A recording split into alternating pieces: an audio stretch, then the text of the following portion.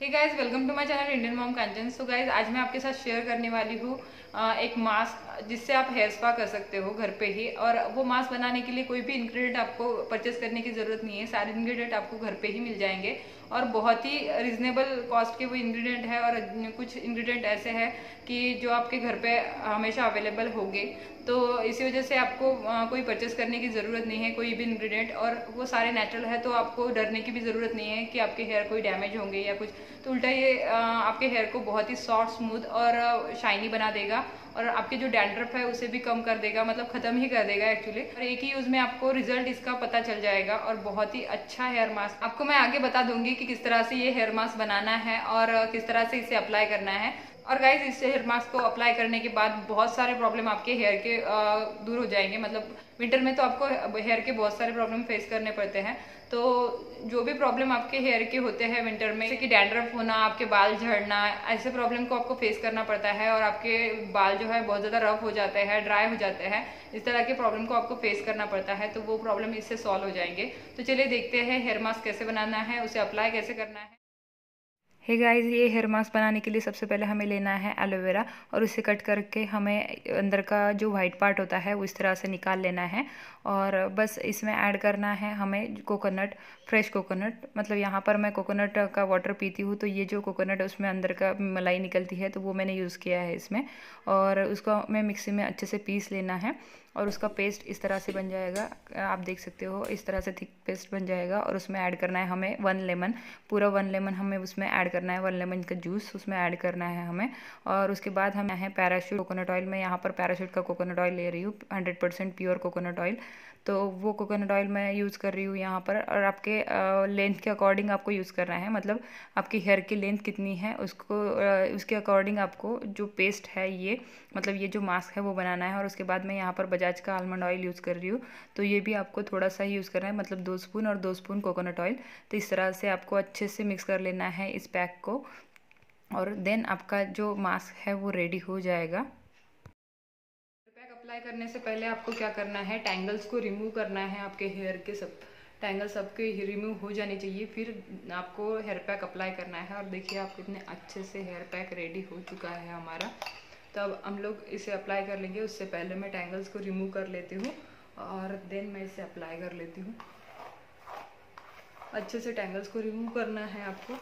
और उसके बाद अगर इसे अप्लाई करोगे तो आपको हेयर वॉश जब आप करोगे तो आपको थोड़ा सा प्रॉब्लम नहीं होगा, इस वजह से टैंगल्स को रिमूव करना ज़रूरी है और इससे ना आपके जो डैंड्रफ का प्रॉब्लम है वो भी दूर हो जाएगा क्योंकि हमने इसमें कुछ इंग्रेडिएंट्स ऐसे मिलाए हैं जिससे आपके डैंड्रफ भी रिमूव हो जाएगा और आपके सारे प्रॉब्लम हेयर के मतलब दूर हो जाएँगे और आप लोगों को पता ही है कि मेरे हेयर थोड़े से ड्राई ड्राई लग रहे थे। आप में से किसी ने मुझे कमेंट भी की थी कि आप हेयर ट्रीटमेंट कर लो। तो इसी वजह से मैं हेयर ट्रीटमेंट करने वाली हूँ एक्चुअली बट उसे थोड़ा सा टाइम है।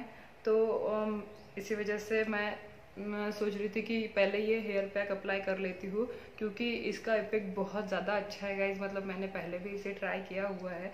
इसी वजह से मैंने सोचा, चलो पहले आपके साथ शेयर कर लेती हूँ, क्योंकि हर कोई हेयर ट्रीटमेंट नहीं कर सकता है। तो हेयर ट्रीटमेंट थोड़ा सा महँगा आता है, आपको लोगों को पता ही है।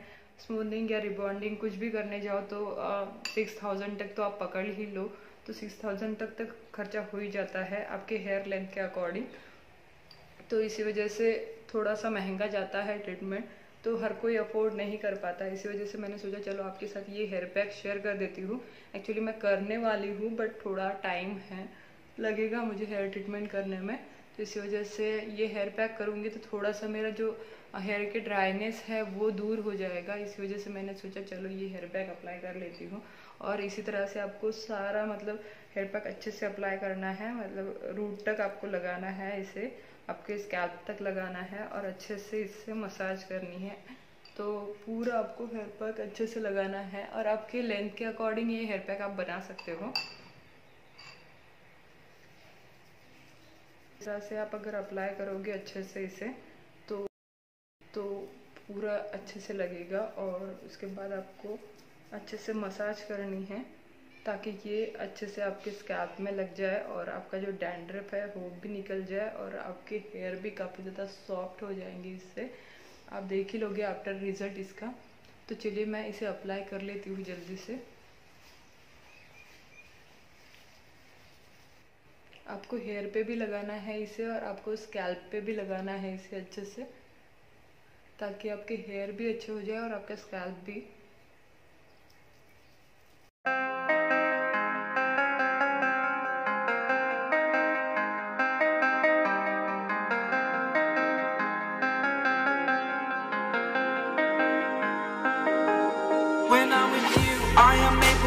pushing my limits and all the drive that I have. Well, I'm going the distance with you.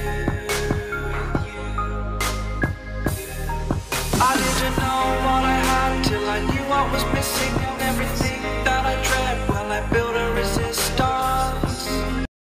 So guys, hair pack जो है वो अच्छे से अप्लाई हो चुका है मैंने अपने स्कैल्प में और सारे हेयर में इसे अप्लाई कर लिया है अच्छे से अभी हम लोग क्या करेंगे कि बालों को अच्छे से बाँध के ऊपर रख देंगे और इसे हमें एक घंटे तक ऐसे ही रखना है ताकि ये जो हेयर मास्क है वो उसका काम कर सके अच्छे से और इसे इस तरह से बाँध के मैं रख दूँगी और उसके बाद मैं हेयर वॉश करूँगी। बस इसी तरह से हमें बाँध के रख देना है और एक घंटे तक रखना है और उसके बाद हेयर वॉश कर लेना है हमें। आई होप गाइज़ आपको ये हेयर मास्क पसंद आया होगा और हाँ आपको हेयर मास्क अप्लाई करने के बाद आपको कोई भी आपके फेवरेट शैम्पू से उसे वॉश कर लेना है और देन आपको उसे ड्राई करके सिरम वगैरह अप्लाई करना है और आप देख सकते हो इसका रिज़ल्ट बहुत ही अच्छा रिज़ल्ट है और बहुत ही सॉफ्ट और शाइनी हो जाते हैं आपके हेयर मतलब अभी आपको पता नहीं दिख रहा होगा या नहीं बट आपको इस तरह से मैं दिखा देती हूँ। आप देख सकते हो लाइट का अगर इफ़ेक्ट इस पर पड़ेगा था तो बहुत ही ज़्यादा शाइनी दिखेंगे आपके हेयर और बहुत ही ज़्यादा सॉफ्ट हो गया है और आप देख सकते हो रिज़ल्ट इसका। पहले मेरे हेयर किस तरह से थे? बहुत ड्राई हो गए थे और बहुत ज़्यादा डल हो गए थे और डैंड्रफ भी बहुत ज़्यादा हो गया था। तो डैंड्रफ अभी बिल्कुल नहीं दिख रहा है, मैं क्लोज करके आपको फिर से दिखा देती हूँ। आप देख सकते हो स्कैल्प में बिल्कुल डैंड्रफ नहीं है। तो इस तरह से आपका डैंड्रफ भी पूरा ही हट जाएगा और एक यूज़ में ही आपको इसका रिज़ल्ट पता चल जाएगा। तो आप ज़रूर ट्राई करना। सो गाइज़ आई होप आपके लिए ये वीडियो हेल्पफुल रहा होगा। अगर हेल्पफुल रहा हो तो प्लीज़ वीडियो को लाइक शेयर एंड चैनल को सब्सक्राइब ज़रूर कर देना अगर आपने नहीं किया है तो। और आप चाहो तो मेरे दूसरे चैनल को भी सब्सक्राइब कर सकते हो। उस पर मैं प्रोडक्ट के reviews beauty related tips videos haul videos makeup videos इस तरह से डालती रहती हूँ। और आप में से कोई अगर मराठी मुझे देख रहे हैं तो मेरा एक मराठी ब्लॉग चैनल भी है तो आप चाहो तो मुझे वहाँ पर भी सब्सक्राइब कर सकते हो। दोनों चैनल का लिंक आपको डिस्क्रिप्शन बॉक्स में मिल जाएगा और मेरे इंस्टा का लिंक भी आपको डिस्क्रिप्शन बॉक्स में मिल जाएगा। आप चाहो तो मुझे वहाँ पर भी फॉलो कर सकते हो। तो चलिए फिर मैं मिलती हूँ आपको अपने नेक्स्ट ब्लॉग में. Till then bye take care and love you all